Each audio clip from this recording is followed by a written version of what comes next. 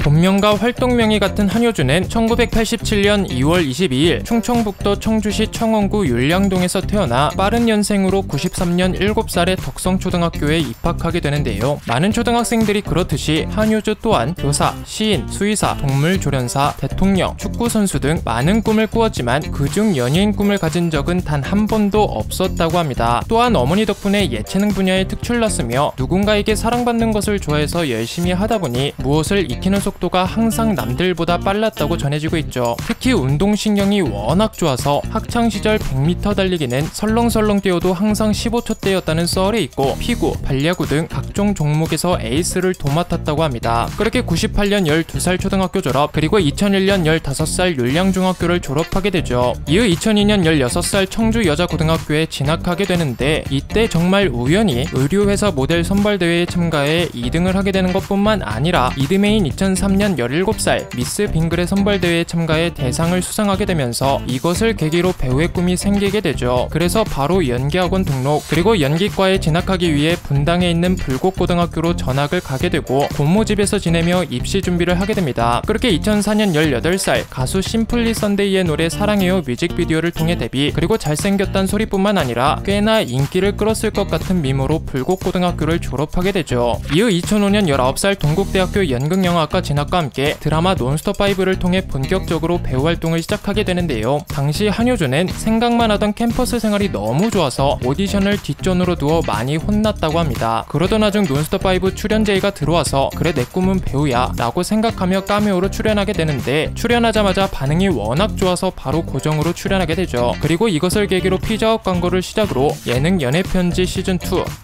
예능 엑스맨을 찾아라 가수 포지션의 노래 그대가 이 세상에 있는 것만으로도 뮤직비디오 가수 에픽하이의 노래 파리스 뮤직비디오 그리고 인기가요 MC를 맡게 됩니다.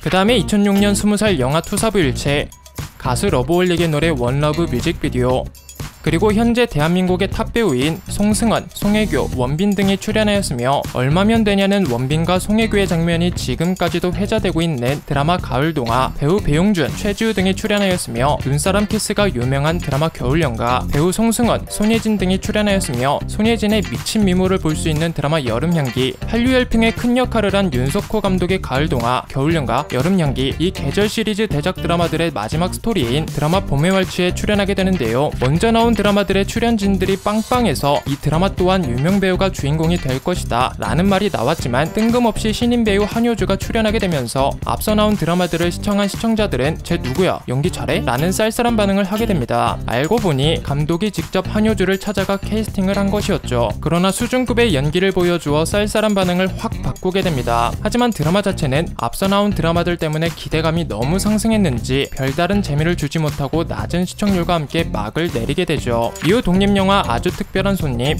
그린타임 녹차 광고, 그리고 그에 열린 한국영화평론가 협회상에서 아주 특별한 손님으로 신인 여우상을 받게 되죠. 이듬해인 2007년 21살 예능 무릎팍도사. 드라마 하늘만큼 땅만큼. 그에 열린 KBS 연기대상에서 하늘만큼 땅만큼으로 여자 인기상 같이 출연한 배우 박혜진과 베스트 커플상. 2008년 22살 대한항공 광고. 배우 이준규와 함께 드라마 일일쯤에 삼천리 자전거의 후원을 받아 제작한 독립영화 달려라 자전거에 출연하였으며 이 영화에서 만난 인연으로 삼천리 자전거 광고 출연 그리고 그에 열린 SBS 연기대상에서 1쯤에로 뉴스타상을 받게 됩니다. 그 다음에 2009년 23살 가수 이우상의 노래 남잔 다글의 뮤직비디오에 출연을 시작으로 전성기를 맞게 해준 드라마 찬란한 유산에 출연하게 되는데요. 2007년에 출연한 드라마 하늘만큼 땅만큼과 이번 찬란한 유산에 출연한 이유 중 가장 큰 이유는 할머니가 TV로 자신을 매일 보면서 좋아하실 것 같아서였다고 합니다. 이후 가수 에즈원의 노래 헤어져 뮤직비디오 가수 케이윌의 노래 사랑한단 말을 못해서 뮤직비디오 한효주가 직접 불렀으며 뮤직비디오까지 직접 출연한 노래 왈칵 눈물이. 단편 뮤직 드라마 Soul Special. 한일 합작 영화 천국의 우편 배달부. 가수 럼블피쉬의 노래 둘이 더 좋아 뮤직비디오. 예능 야심만만. 삼성 카메라 광고. 베스킨라빈스 광고. 그리고 그에 열린 시상식에서 찬란한 유산으로 특별 기획 부문 여자 연기상 10대 스타상 같이 출연한 이승기와 베스트 커플상을 받게 되죠. 이듬해인 2010년 24살 지난해 찬란한 유산에서 얻은 엄청난 인기에 또 한 번의 인기를 얹은 드라마 동이에 출연하게 되는데요. 드라마 허준, 대장금, 이산을 연출한 이병훈 감독의 새 작품으로 인해 많은 시청자들이 기대감에 한껏 부풀어 있었지만 극 초반부터 한효주의 사극과 어울리지 않는 대사톤과 diction 때문에 많은 사람들이 혹평을 내리게 되죠. 그러나 시간이 지날수록 발전되는 모습 덕분에 혹평이 사라지고 호평이 줄을 이루면서 결국에는 레전드 드라마로 남게 됩니다. 이후 한효주 노리플라이의 노래 Don't You Know 뮤직비디오, 데이브레이크의 노래 팝콘 뮤직비디오, 음악 프로그램 유희열의 스케치북, 빙그레 요플레 광고에 출연하게 되고 그에 열린 시상식에서 동이로 여자 인기상, 여자 주연상, 그리고 대상을 받게 되죠. 그 다음에 2011년 25살 첫 상업영화 오직 그대만에서 시각장애인 역을 맡게 되는데요. 시각장애인 역을 완벽하게 소화하기 위해 시각장애인 학교에 재학 중인 학생들과 같이 생활하며 눈이 안 보인다는 것이 어떤 것인지 체험하는 것뿐만 아니라 잠시 시력을 잃어보고 싶어 산동제를 넣어보려고까지 했으나 너무 위험해 포기했다고 합니다. 여기서 산동제란 눈의 상태를 진단하거나 치료를 하기 위해 동공을 확장시키는 약물이며 동공 확장뿐만 아니라 수정체 조절마비 목적으로도 사용된다 된다고 합니다. 여하튼 그런 노력 덕분에 또 한 번의 엄청난 연기력을 보여주게 되죠. 이후 자일리톨 광고, 그에 열린 백상예술대상에서 지난해 출연한 드라마 동의로 여주인공상, TV부문 여자 최우수 연기상, 2012년 26살 FM 음악도시 성시경입니다. 두시 탈출 컬투쇼, 영화 광해 왕이 된 남자, 한효주 브로콜리 너마저의 노래 숨바꼭질 뮤직비디오, 예능 런닝맨, 영화 반창고, 그리고 옥수수 수염차 광고에 출연하게 됩니다. 이듬해인 2013년 27살 라디오 푸른밤 정엽입니다의 출연을 시작으로 아큐브 광고, 예능 런닝맨, 한효주를 놓고 시나리오를 썼으며 다른 배우에게 전혀 가지 않고 바로 한효주에게 갔다. 촬영하면서도 효주의 능력에 감탄했고 앞으로 더 성장하는 여배우가 되겠다고 생각했죠. 메인 주인공으로서 영화를 잘 이끌어갔다고 생각한다. 굉장히 훌륭한 여배우라고 생각한다. 앞으로가 더 기대된다. 이런 극찬을 받은 영화 감시자들에 출연하게 되고 그해 열린 시상식에서 감시자들로 여자 배우 부문 인기 영화인 그리고 두 번의 여우주연상을 받게 되죠.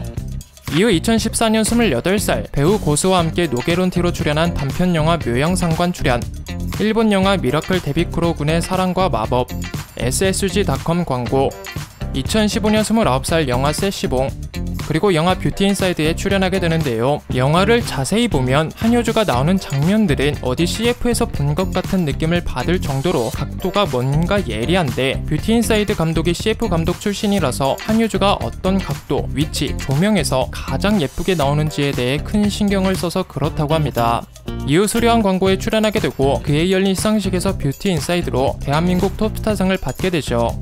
그 다음에 2016년 30살 디에트로 광고 리뽀 광고, 영화 해어화 예능 1박 2일, 6년 만에 TV 드라마 복귀작인 W, 그해 열린 시상식에서 W로 같이 출연한 배우 이종석과 베스트 커플상, 중편 드라마 여자 최우수 연기상, 미니 시리즈 부문 여자 최우수 연기상, 2017년 31살 닥터 그루트 광고, 2018년 32살 영화 골든 슬럼버, 영화 일랑, 제주특별자치도 공익광고 2019년 33살 미국 드라마 트레드스톤에 출연하게 되는데요. 드라마를 보면 한효주의 액션씬을 볼 수 있는데 촬영을 하기 전 한 달간 액션 스쿨을 다닌 후 미국으로 출국하여 직접 액션씬들을 소화했다고 합니다. 트레드스톤은 시즌1 마지막 화에서 시즌2가 나올 것 같이 끝났지만 결국 여러가지 이유로 제작이 무산되면서 이야기가 마무리되지 못한 채 끝나게 되죠. 그리고 JM솔루션 광고에 출연하게 됩니다. 그리고 2020년 34살 예능 서울 촌놈에 출연하게 되죠. 이듬해인 2021년 35살 빌베리 플러스 광고에 출연을 시작으로 드라마 드라마월드 특별 출연, 예능 출장 15야, 원래는 5월에 개봉 예정이었지만 시국 때문에 밀려났으며 배우 변요한과 함께 출연한 일본 영화 태양은 움직이지 않는다, 드라마 해피니스, 그리고 2022년 개봉 예정 영화 해적 도깨비 깃발, 배우 조인성, 류승용, 차태현, 류승범, 김성균, 문성근 등 대한민국에서 내로라 하는 배우들과 함께 방영 예정 웹드라마 무빙에 출연이 확정되면서 왕성한 활동을 이어나가고 있습니다. 영상 중간중간에 보면 한효주가 직접 부른 노래들을 몇 개 볼 수 있는데요. 사실 피처링 및 직접 발매한 노래가 13개가 됩니다. 영화 반창고를 한창 촬영하던 26살에 뒤늦게 사춘기가 왔다고 하는데 어린 시절에는 부모님을 실망시키는 것을 싫어해서 사춘기를 겪어보지 못했지만 성장을 하면서 조금 더 자기스러워지면서 겪었던 것 같다고 얘기하게 되죠. 그리고 맡은 역할들을 보면 하나같이 다른 이미지를 보여주고 있는데요. 업계에서도 메이크업만으로도 이미지가 확 바뀌는 배우라는 얘기가 있으며 드라마 동의를 촬영하던 시기에 식당을 찾았는데 식당 직원분들께서 같이 간 배우 배수빈만 알아보고 자신은 못 알아봐서 머리를 묶으며 저 동의해요 라고 했더니 그제서야 알아보았다고 합니다. 키는 172cm이며 화면보다 실물이 훨씬 예쁜 배우이고 여행을 좋아하고 매너가 굉장히 좋으며 지병을 앓고 있는 한 팬의 집에 직접 방문하여 시간을 보냈다고 합니다. 그리고 이듬해 고인이 되었을 때 조문을 다녀갔다고 전해지고 있죠. 또한 친구 딸의 몇 천만 원 되는 병원비를 대신 처리해 준 적도 있으며 동물 보호 시민 단체 카라의 봉사활동에 참여하기도 하고 팬들과 함께 연탄 봉사도 한다고 합니다. 그뿐만 아니라 2020년에는 전국 재해구호협회에 1억 원을 기부했으며 서울 촌놈의 출연료를 충북 청주시에 있는 새생명 지원센터에 기부했다고 전해지고 있죠. 다른 영상이 궁금하시다면 재생 목록, 이번 영상이 재미있으셨거나 다음 영상이 궁금하시다면 구독, 좋아요 부탁드리겠습니다.